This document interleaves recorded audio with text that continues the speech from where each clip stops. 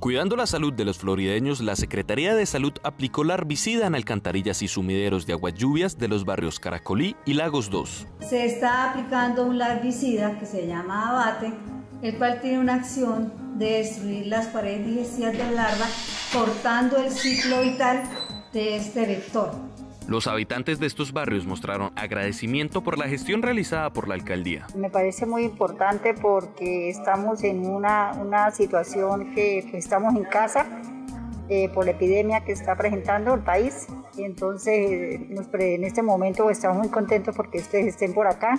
Me parece muy bien para que nos podamos proteger porque esta es una, una situación muy delicada para todos. Recomendaciones para proteger las viviendas. Evitar dejar recipientes con agua por mucho tiempo. Lavar las pilas y sifones constantemente.